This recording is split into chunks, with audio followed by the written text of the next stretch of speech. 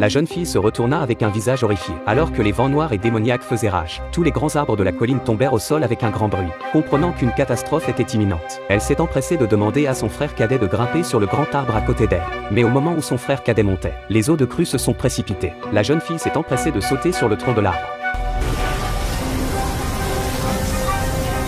Bien que ses chaussures aient été emportées par l'inondation. Tous deux ont survécu, afin d'éviter que son frère cadet ne tombe accidentellement. Elle s'est empressée de s'accrocher à lui pour éviter la catastrophe. À son insu, l'inondation n'était que le début du désastre. En effet, l'eau de mer se précipitait vers la ville comme si elle volait dans le ciel. Une femme a cru voir quelque chose de rare et n'a pas bougé. Mais l'instant d'après,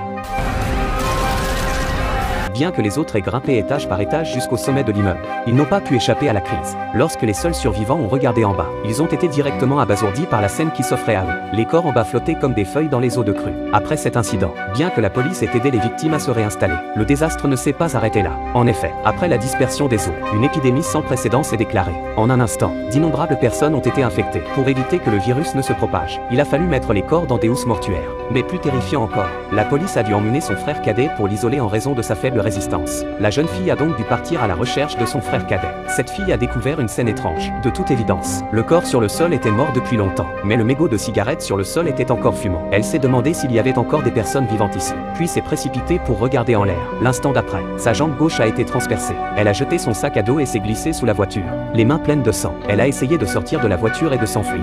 Mais la blessure à la jambe était trop importante. Avant d'avoir pu faire quelques pas, elle est tombée et s'est évanouie. Lorsqu'elle s'est réveillée, elle s'est retrouvée dans un endroit étrange et sa blessure était bandée. Lorsqu'elle a entendu quelque chose venant de l'extérieur, elle a fait semblant de dormir. À l'improviste, un homme l'a aidé à changer les médicaments et est reparti. La jeune fille a alors retiré l'aiguille et a cherché son arme. Mais il n'y avait rien dans son sac.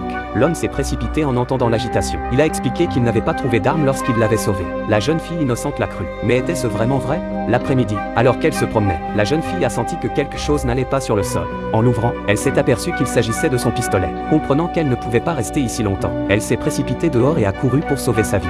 L'homme s'est immédiatement jeté sur elle pour l'empêcher de parler. Il y avait un homme dehors avec un fusil de chasse qui cherchait une cible. De retour chez lui, l'homme explique qu'il a agi ainsi pour la sécurité de la jeune fille. Une fois de plus, la jeune fille le croit et noue une relation amoureuse avec lui. Cependant, alors qu'il dormait, l'homme est soudainement sorti pour parler à l'homme armé à l'extérieur. Ce n'est qu'en voyant cette scène que la jeune fille a repris ses esprits. L'homme lui a alors expliqué la vérité. Il s'avère qu'il est un médium spécial qui a eu le coup de foudre pour la jeune fille alors qu'il était en mission. C'est pourquoi il a tué son compagnon et sauvé la vie de la jeune fille.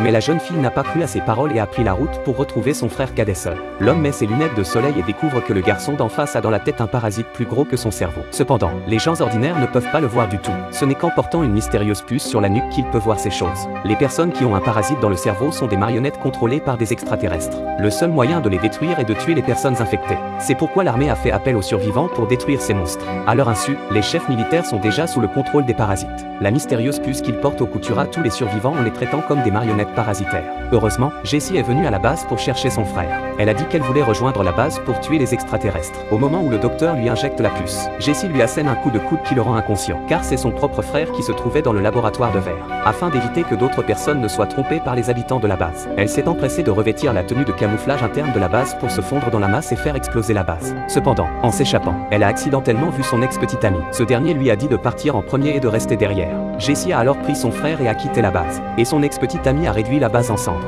À leur insu, les envahisseurs avaient déjà déplacé la base en secret. Les survivants ont donc décidé de poursuivre leur voyage, parce qu'ils veulent dévoiler la conspiration. L'histoire se termine ici. Le film s'intitule La cinquième vague. C'est un très bon film catastrophe avec des canons électromagnétiques, des tremblements de terre, des tsunamis, la peste et la grippe aviaire. Si cela vous intéresse, vous pouvez regarder le film original. Abonnez-vous à ma chaîne, je vous emmènerai dans un monde de cinéma différent.